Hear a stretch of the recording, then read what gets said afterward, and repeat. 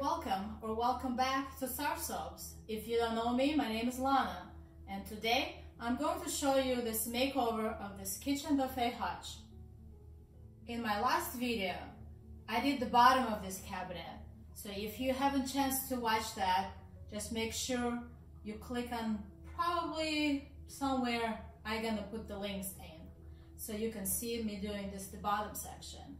And today it's a second part of the video, I'm doing the top. I'm using Dixie Belle uh, chalk paint in driftwood color and uh, also all this decoration and depth in that I use the black wax as well as gilding wax and silver uh, shade to add little bit of shine and details like parts here and parts there.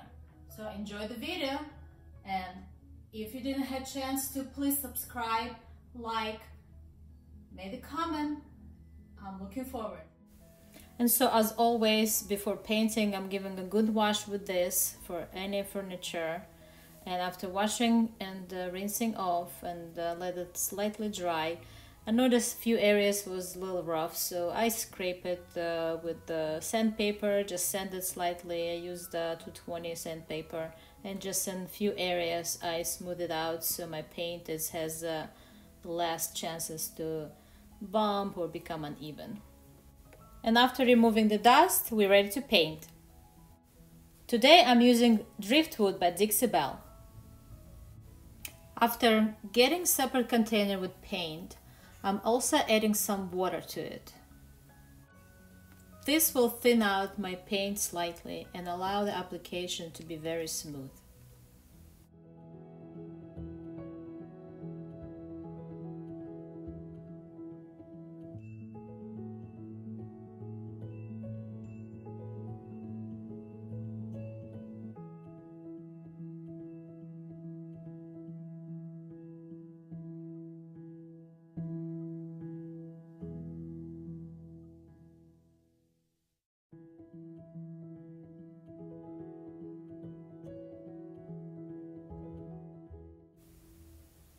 I also like to spritz my brush with water too.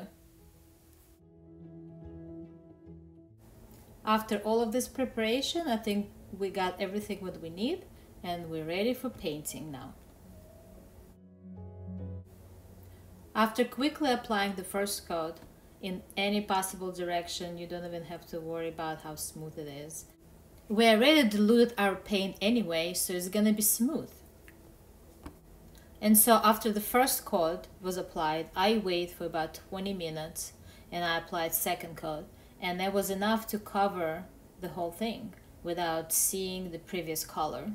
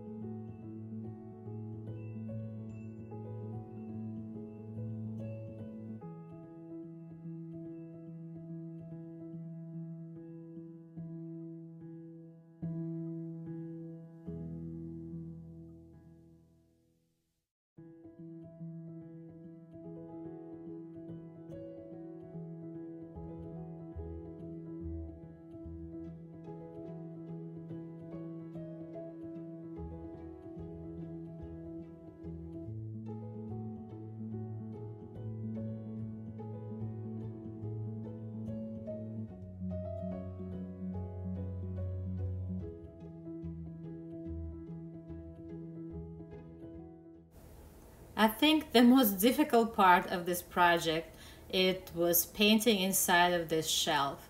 I felt I had to go up and down and bend inside and out just to be able to reach all the angles. but the end result was worth it.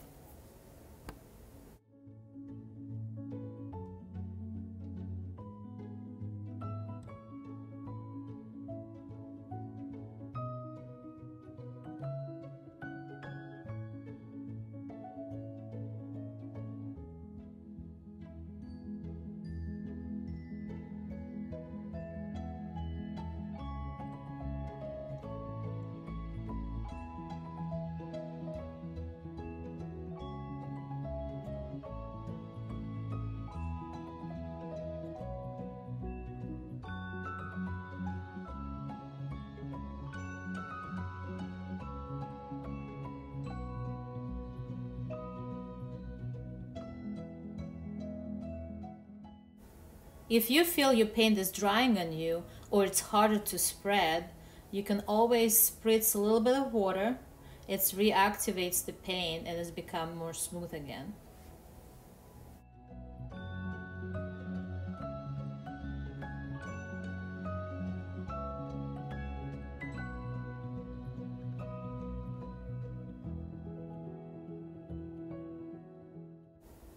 After second coat was applied, I allowed this piece to dry for a couple of hours before I continue with the sealing with wax.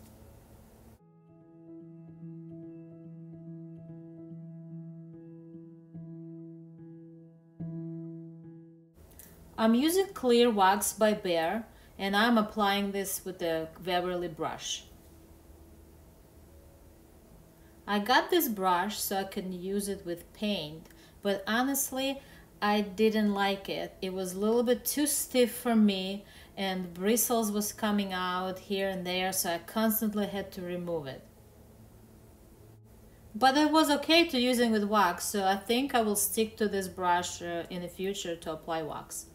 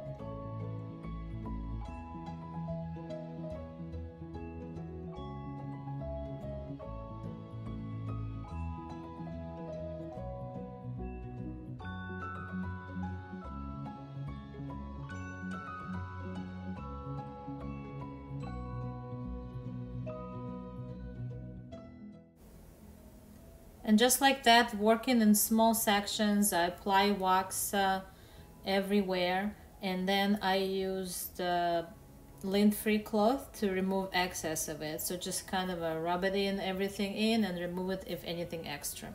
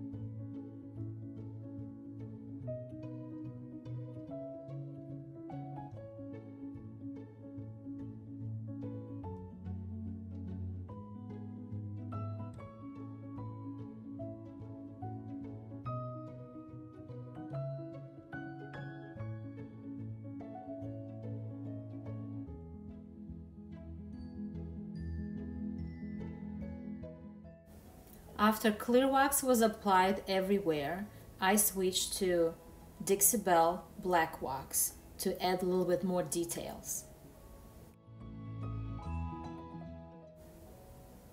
Right here, I feel like I'm moving as a Speedy Gonzalez. So after applying black wax in the small sections at a time, I go back with a, clean lint-free cloth, dipping back slightly in um, clear wax and wiping over excess the areas where I feel it's too much of the black.